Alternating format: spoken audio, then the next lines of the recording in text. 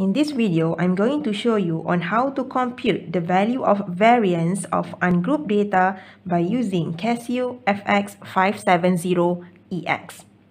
Okay, consider this example. Now, we need to calculate the value of variance. Okay, and this is um, ungrouped data. I have 40, 30, 70, 60, 148 and also 60. Okay, so the very first step is you must reset the setting and the memory inside this calculator. Press shift button followed by number 9 and then press number 3 and then press equal for yes. And then press AC button to clear the screen of your calculator. Okay, the next step is press shift followed by setup. Okay, shift. Okay, followed by setup button. And then press arrow down button. Okay. And then press number 3 for statistics. Okay. So for this one, we need to turn off the frequency because uh, we don't have any frequency value for our data set. So turn off the frequency. Okay, next step, press menu button okay? And then we need to uh, choose option number six for statistics. Okay so press button six. And then press number one for variable. Okay now the next step is we need to key in our x values into this calculator. So our first x value is 40 equal. Okay press equal button to save this data the next one is 30, and then 70, 61, 48, and the last one is 60. Okay, and then you can press AC button to clear the screen of your calculator. Okay, the next step is we need to obtain the summation values from the calculator. As we all know, this is the formula for variance okay?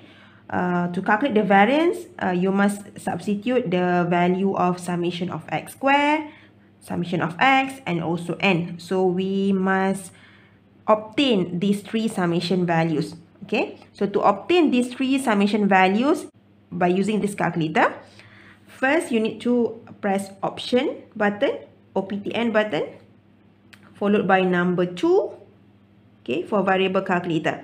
Okay the first summation is summation of x. As you can see here on the screen of this calculator, summation of x is 309. So this is uh, summation of x, 309.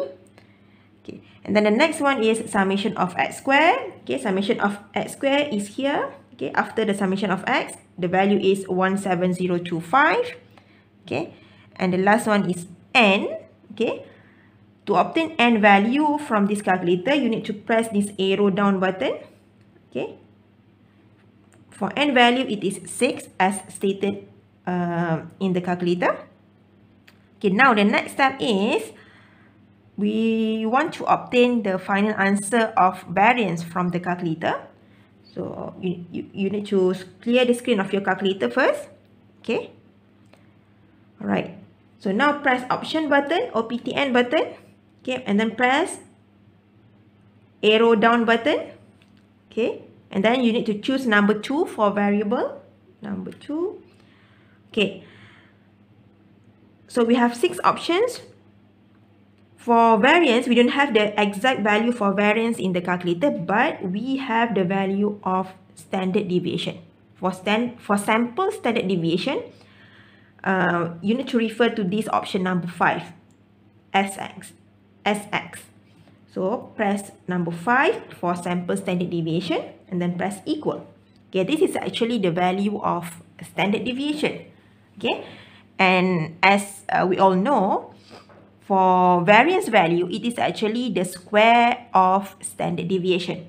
So to obtain the variance value, the final answer for variance, you just need to square this answer.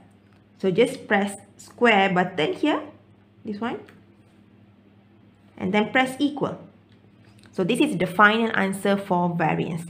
222.3. 222.3.